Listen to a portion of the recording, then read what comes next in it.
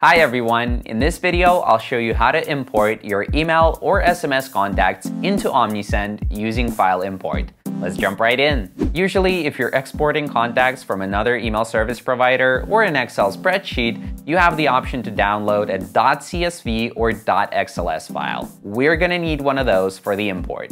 Before starting the import, we have to make sure that the format is good. The first row in the file should contain column headings like email address, first name, country, date of birth, etc.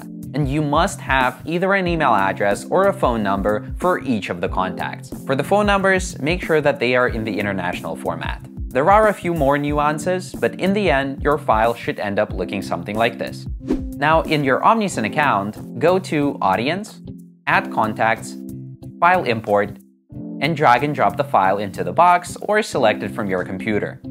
Next, map the attributes that you want to see added to Omnisend with the respective columns in the file. Some of them are mapped automatically, like email address, and for others, just click Map to Property and search for the property name like country in this example. Very simple.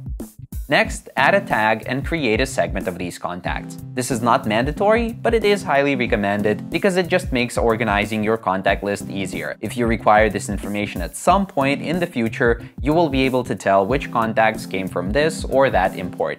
Finally, review and confirm everything one last time and click Import. And that's pretty much it. I hope that you found this video helpful and feel free to reach out to our 24-7 support if you run into any difficulties.